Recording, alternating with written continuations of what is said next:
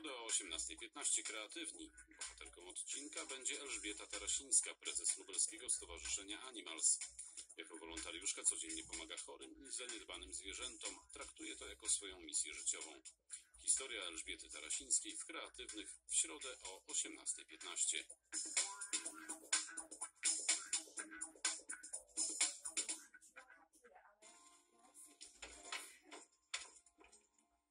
niedzielę o 20.30 serial Złote Łany.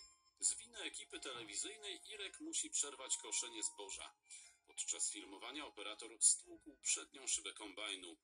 Poznamy też nowych bohaterów. Holendra, Henka i jego żony z Polski. Odcinek wieńczy ślub najstarszej córki pani Steni. Złote Łany w niedzielę o 20.30.